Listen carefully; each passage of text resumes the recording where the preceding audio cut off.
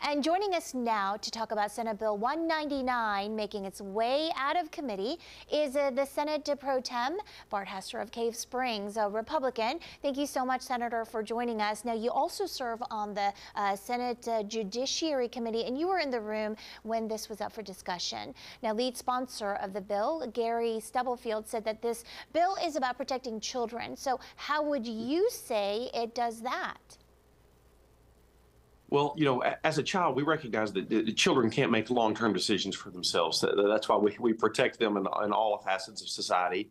But it says if, if, if a young child goes under these these significant uh, therapies, either whether it's under the knife or some sort of puberty blocker that affects them long term in life, uh, when they become an adult and they can make their own decisions, and they're like, I cannot believe the adults in my life allowed this to happen to me, then they would have a civil cause of action against the doctor that performed that surgery on them or, or provided them with, uh, with medications that have caused these long term effects. Okay, now opponents to the bill say that this promotes transphobia. So, how would you, as a Senate president, respond to that?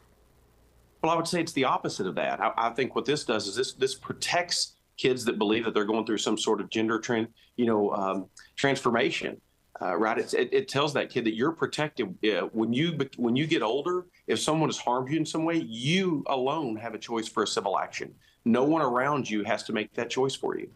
So this bill would uh, let anyone sue a doctor up to 30 years after a surgery if they can prove uh, damages, right? Are there any constituents who have said that they would pursue damages if able? Are there any calls from people uh, trying to sue for damages uh, for a bill like this?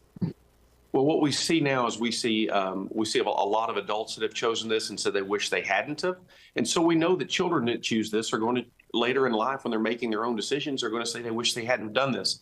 Um, we're actually going to uh, send the bill back to committee. We're going to amend it from 30 years down to 15 years. Uh, after visiting with some more medical professionals. But, uh, you know, if a child does this at 15, they have till they're 30 years old. Uh, we think that's adequate time to uh, um, you know, recognize as an adult the decisions you've made and see if you feel like you've been harmed.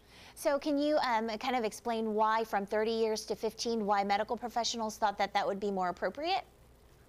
Well, it's just a very long time, right? It's a very long time for insurance companies to uh, to provide, uh, um, you know, the insurance protections for for medical doctors. Uh, I mean, any medical professional that, that, that participates in this. Uh, and really, we just felt like, the, or well, the, the, Senate sponsor just felt like after meeting with people, it was more appropriate at 15 years. So we're, we're going to support him in that. All right, Senator Hester, thank you. Now, Senator Matt McKee was also in the Judiciary Committee during this uh, controversial and asked a controversial question to Dr. Gwendolyn uh, Herzig, a transgender woman, regarding uh, very personal uh, her genitals during the hearing uh, for the bill. Now, his question was received national attention regarding this. So, how do you respond to all that attention and his questioning?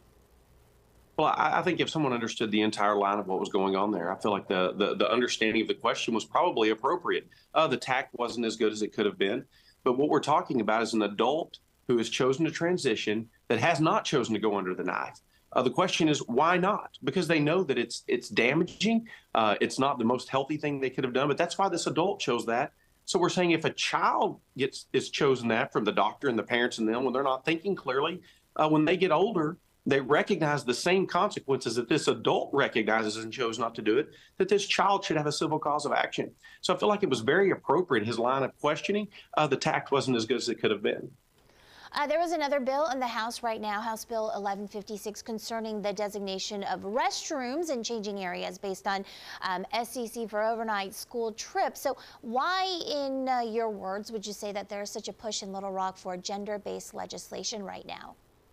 Well, because there's a, a push for uh, you know boys to share bathrooms with girls, and there's a push for little boys to share a, uh, an overnight room with a with a little girl when they're on an overnight trip at school, and we just don't believe that's appropriate. Uh, the legislature doesn't believe it's appropriate. The people of Arkansas and the country do not believe that is appropriate. Um, if if there's a child going through some struggles, um, you know their their family and parents can deal with that but like we n- do not believe it is in the best interest of anyone for little boys to share uh, a bath an overnight uh, hotel room with a little girl uh, Senator, um, are other are there other states that you know of um, pushing for measures and bills like this? I think Oklahoma is maybe trying to jump on board as well. I, I think many states uh, states are doing this. And look, this is not something that we thought we were going to come down there and want to spend our time on. Uh, but but we're not pushing this. We have a responsibility to protect children. Uh, and when there is a push from the left to say that our little boys and girls are going to share bathrooms together, we know that is crazy.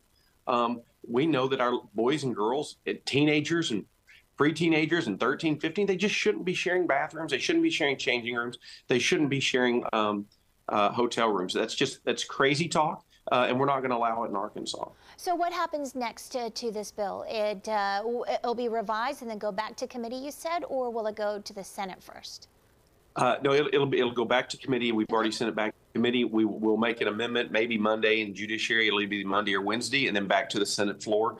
I think we all recognize that this is going to receive a supermajority of support uh, on the house and senate uh, and i believe the governor will sign it All right, thank you so much, uh, Senator Bart Hester of Cave Springs, joining us from Little Rock on 40/29 News on the record. We appreciate it. thanks for having me